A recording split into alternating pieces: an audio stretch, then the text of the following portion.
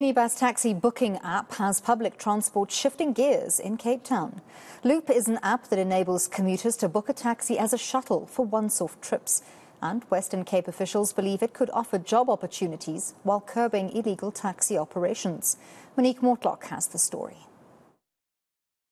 Loop is the brainchild of Imtiaz Riley, a Cape Town tech entrepreneur who hails from a family of taxi operators. We had this idea about digitizing minibus taxis. It was predominantly supposed to be a payment system, but when we did design thinking and we spoke to customers, associations, and taxi drivers, we unpacked a lot more problems than just the payment system.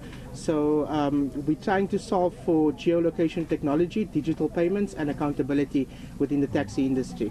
Available on WhatsApp, Loop's creators say their service cuts through the noise of data hungry and overly complicated apps. I want to get a taxi. I'm going to ask you your current location so it knows where you are. Once we know where you are, we know what are the options of where you can go to. So now we know what options, when you give you the options, you click, okay, I want to go to Cape Town, I'm in Manenberg. This isn't going to be like an Uber service where it comes to fix you at your door. This is a service where the, t- the taxi is on the normal taxi route and they're able to pick you up on the route. Officials are hopeful that Loop will help in dangerous and illegal taxi operations. I've been informed and assured that all operators on this platform um, is legal operators, um, and uh, uh, anything that can assist in rooting out those illegal operators um, which, in whichever space is, is to me is a fundamental concern or uh, a, a problem. So whatever we can do to curtail that.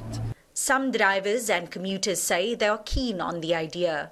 It's easy for me to get to work and that's just convenient. It's on your phone just to book and drivers there in less than five, ten minutes. Nine, ten o'clock, the work dries up because everyone goes to work. And then it's time, uh, like I think we call in Afrikaans skarrel. We will do skarreling. We will have to look for people, stand still by each road. And it will be tough sometimes, but Loop, look like today I was driving my Peter. Now Loop, Loop covers me with the trip and payment makes my work much more easier.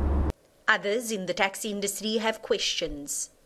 There would be challenges where one would want to understand if the money goes to the driver who's driving the vehicle or the money goes directly to the operator.